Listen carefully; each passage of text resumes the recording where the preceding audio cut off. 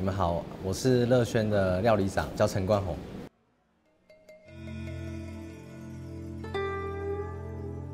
呃，我们乐轩是二零一四年在十台中开了第一间店，然后在二零一六年的十一月开了仁爱店，然后在二零一八年又开了松板亭，然后接着我们二零一九年一个全新的品牌和牛割烹。我们整间店的装潢当然是以板前为主，就是割烹传统割烹概念的。当然我们还是有包厢，那包厢的话还是可以体验得到烧肉的部分，对。然后我们的板前师傅都可以在现场让你们看得到，说现场帮你们烹调制作料理的过程这样子是。因为在日本高级的料亭跟那个割烹，他们现在有一种趋势，就是用那种现场窑烤的方式。那这个窑烤炉有趣的是，它非常的重，它两百多公斤。那它跟以往的烧烤或者是直火烧烤不一样的点是，它是三百六十度的环绕的热能去烤制这个牛排，所以肉质可以完整的锁在牛排里面。那这也是一个台湾一个比较新的一个创举，这样子。第一个是说，我们割烹就是现场师傅的切割的食材跟烹调食材，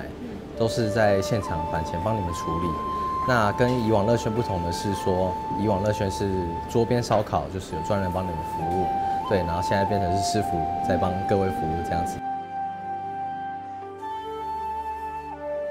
呃，我们这次夏季用的是我们有用了台湾的夏季的绿竹笋，还有台湾蓝屿的飞鱼卵，还有日本静冈的水果，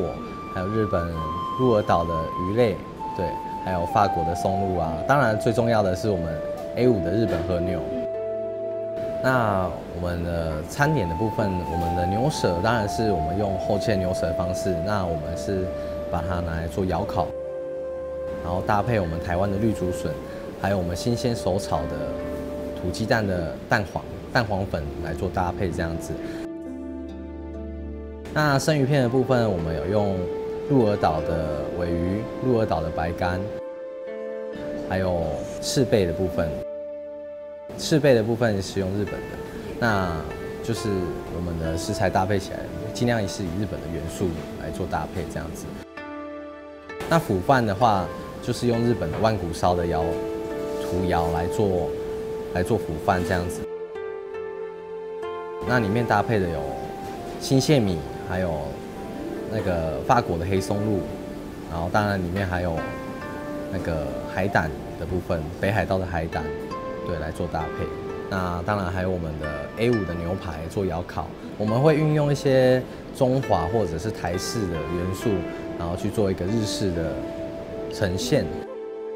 让台湾人可以更能接受何时的响宴这样子。